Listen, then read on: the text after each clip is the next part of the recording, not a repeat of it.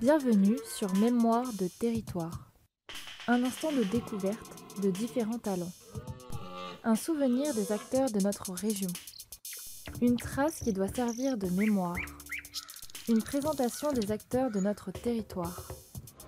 Un instant de découverte avec Découverto. Bonjour Alain Cochet, bienvenue sur Mémoire de Territoire, le podcast de l'association Découverto. Alors, on s'est vu là il y a quelques jours et tu nous avais raconté un petit peu ta, vie dans la vallée des Éclusiers et surtout tu nous avais, avais commencé à nous parler de, ta vie de forestier en nous parlant justement de, ta connaissance du, cerf, enfin des cervidés en, règle générale. Et du coup, on, s'était promis de, se revoir pour pour aller un peu plus loin là-dedans, pour que tu nous racontes un peu euh, la, vie de ces cervidés, comment comment ils vivent, euh, euh, puisqu'en fait nous, par définition, on les voit quasiment pas, sauf justement comme tu dis quand ils passent devant la voiture. Et, et du coup, toi, tu as eu la chance de, les suivre, de voir comment ils vivent dans la nature. Alors si, tu pouvais nous raconter tout ça, c'est vrai que c'est quelque chose qui nous intéresserait. Oui, bon ben rebonjour à tous, ravi de vous retrouver. J'espère que c'est un sujet qui vous intéresse. Donc allons, ensemble un peu plus loin dans, cette vie de, de ces animaux qui vivent dans nos forêts, euh, qui sont là, tout près, qu'on voit rarement, sauf des fois la nuit, hein, euh, quand ils passent devant votre voiture, dans les phares, mais ils sont là, ils sont là, à côté, euh, à côté de nous. Alors, il faut savoir que le cerf est une espèce grégaire. Grégaire veut dire qu'il vit en harde, regroupé.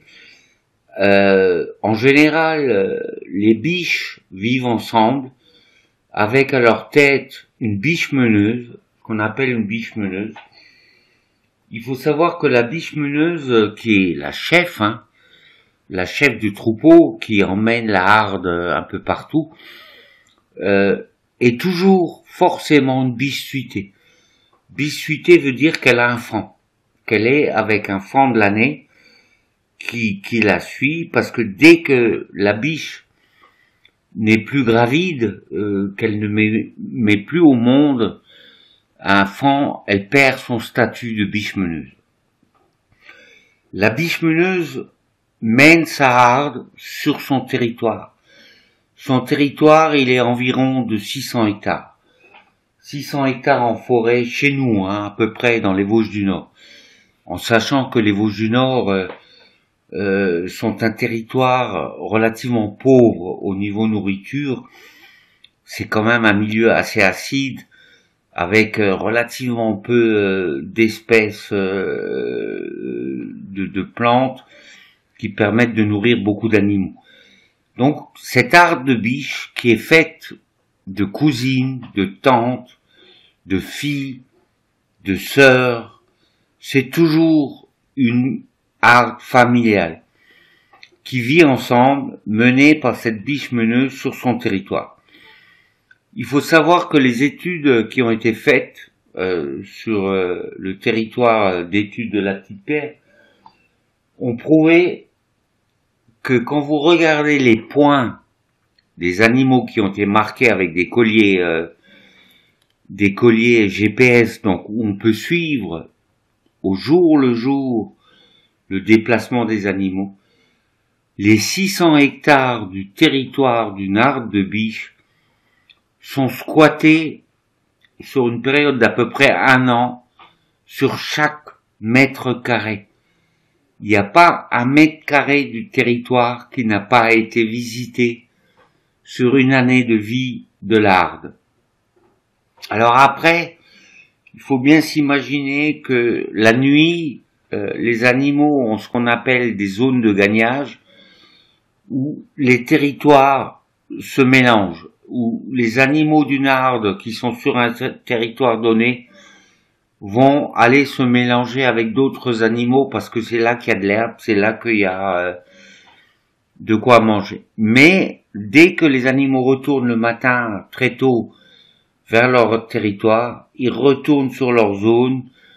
Euh, c'est indéniable. Euh, les animaux sont fidèles, fidèles à leur zone territoriale. Alors vous allez avoir euh, sur une, une zone comme celle de la réserve de la Petite Pierre qui fait 2700 hectares, donc vous, vous divisez 2700 hectares par 600, euh, 600 fois 2 ça fait 1200, euh, fois 4 ça fait 2400, euh, ça fait à peu près euh, 5, 5 à 6 arts de cervidés euh, qui vivent sur ce territoire en même temps. Dans une arde, il peut y avoir entre entre 5 et 10, 12, 15 biches, quoi. Après, quand les conditions peuvent être difficiles en hiver, on peut assister, euh, quand vraiment les animaux sont en période de disette et en mal de nourriture, on peut arriver à des, à des regroupements de hardes qui se rassemblent en hardes de 30, 40, 50 individus pour exploiter euh, l'ensemble du territoire parce que euh, ils ont du mal à trouver sur le leur euh, ce qu'il leur faut. Mhm.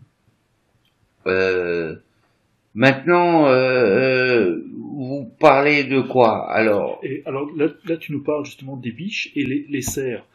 Euh, tu nous avais dit qu'il y y a le même nombre de biches que de cerfs. oui, euh, dans alors nature. effectivement, euh, j'ai oublié de préciser ça. Il faut savoir que, que dans la nature, les choses en général sont bien réglées. Et dans les naissances, il y a ce qu'on appelle un sexe ratio équilibré. C'est-à-dire qu'il y a en général une naissance d'un mâle pour une naissance d'une femelle. Donc en général, dans la reproduction de l'année, on a autant de mâles que de femelles. Mais où sont ces mâles? Où sont-ils passés? Alors, quand ils sont fans, airs et dagués, c'est-à-dire euh, dagués, vous l'avez compris dans ce que j'avais expliqué un peu plus avant dans une autre émission, ils sont dans leur deuxième année, ils sont toujours encore dépendants de leur mère. Ils vivent encore avec la mère. Il faut savoir que le bi- la biche a en général avec elle son fan de l'année qui vient de naître et celui de l'année précédente, qu'il soit mâle ou femelle. Mhm. Si c'est une femelle, c'est une bichette. Si c'est un mâle, c'est un daguet. Mais il vit encore avec sa mère, avec la harde, dans leur territoire. Après, la, quand il devient deuxième tête, le mâle, tout doucement, est évacué de la harde, est repoussé par les biches et part à l'aventure euh, euh, vers d'autres lieux. Alors il faut savoir que comment vous l'expliquer comme ça par micro Vous avez une zone qu'on va appeler euh, une zone territoriale de biche. Ou allez sur un grand territoire de 3000 et 4000 hectares, vous avez des biches vivantes. En plusieurs hardes, en plusieurs territoires. Euh, les mâles commencent à partir de la deuxième tête d'être évacués et vont quitter cette zone qu'on appelle zone noyau, dans laquelle vivent les biches, et vont être éva- évacués vers les périphéries. C'est souvent des petites forêts, des forêts communales, voire éventuellement des zones de halliers, de pruneliers, voire même en plaine, en campagne. Euh, ils n'ont pas forcément besoin d'énormes territoires, mais ils se cachent et ils deviennent des fantômes qu'on ne voit plus. Ils sont cachés toute la journée dans des zones euh, où personne ne va. euh, qui va aller se promener euh, dans des haies de pruneliers qui piquent Personne. Et donc là, les cerfs sont couchés, ils sont tranquilles. Et là, ils sont alors euh, en- aussi sous forme de groupe Non, là, ils sont- chacun de leur Ils côté, sont quoi. plus ou moins. Alors, il y a, il existe ce qu'on appelle des hardes de mâles. D'accord. euh, avec euh, bien souvent à leur tête un cerf un peu euh, d'expérience, un cerf un peu plus vieux, et puis qui utilise euh, ce qu'on appelle un cerf valet. Alors ce terme me plaît beaucoup parce que euh, le cerf valet, c'est un jeune cerf que le vieux, le vieux cerf va envoyer en éclaireur.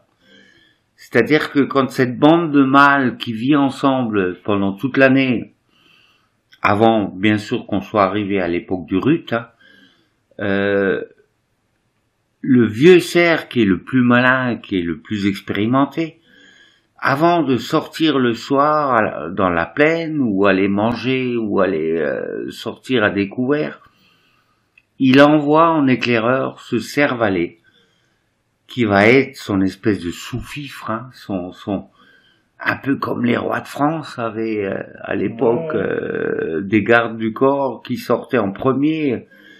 Mais c'est un peu ça. C'est un peu ça. Et ce cerf qu'on appelle valet, et les chasseurs le savent très bien parce que quand ils veulent tirer un vieux cerf, ils savent que quand ils voient sortir le jeune cerf, qu'il faut bien sûr attendre, attendre encore que tout d'un coup arrive le vieux papa. Ouais. D'accord. Ouais. Et euh, ouais, donc du coup, on a quand même ouais, ces, ces deux mondes, euh, en fonction de la sexualité de l'animal, ces deux vies complètement différentes, quoi. Ouais, Euh, complètement. Alors, ce qu'il faut savoir, c'est que le mâle n'a, dans sa vie, sur une année, n'a qu'un seul but, c'est de se préparer au mieux pour être au top niveau pour le rut. C'est-à-dire être le, le plus en forme possible, avoir la meilleure ramure, possible, la meilleure corpulence euh, possible, la meilleure réserve de graisse possible pour être prêt pour ces trois semaines ou quatre semaines de joute à l'époque du brame.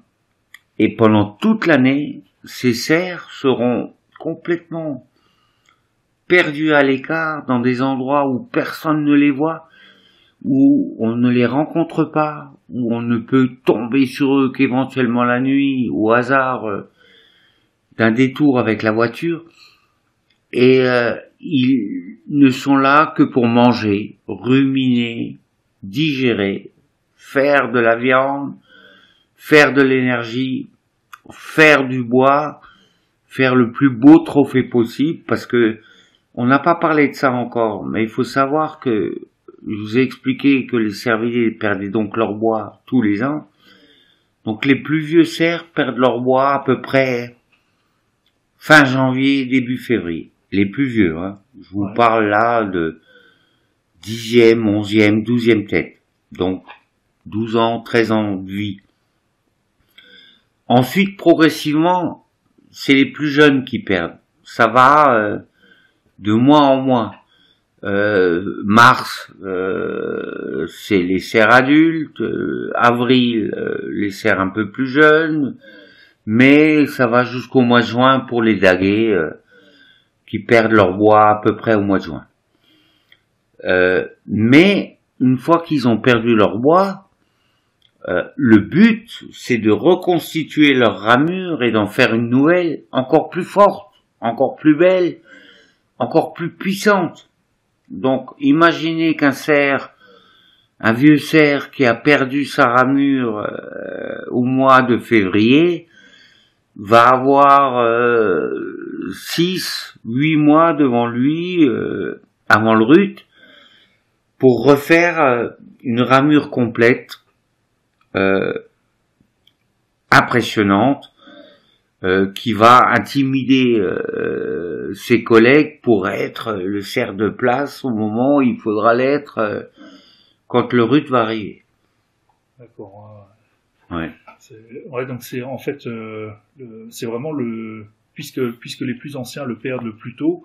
En fait, ils auront une ramure plus grande parce qu'ils ont plus de temps. pour Oui, parce que évidemment, il faudra plus de temps pour faire de l'os, euh, pour Ouais. faire des matières minérales, euh, pour faire. euh, alors, pour ceux qui savent un peu, euh, je sais que parmi vous, il y a des des chercheurs de mu. euh, vous adorez ça et vous êtes des fanatiques dès le mois de février à aller arpenter la campagne pour trouver les mus des cerfs qui sont tombés au sol. Euh, plus le cerf va être d'importance, c'est-à-dire 11e, 12e tête, il va être 12 corps, 14 corps, 16 corps, je sais pas. Ça dépend. euh, alors il faut savoir que le nombre de corps n'a rien à voir avec l'âge de l'animal. Quand on parle d'un cerf dix corps, euh, ça veut pas dire qu'il a 10 ans. Ça n'a rien à voir avec ça. 10 corps, c'est qu'il a cinq pointes de chaque côté de son trophée. Euh, 5 pointes à droite, 5 pointes à gauche pour un 10 corps régulier.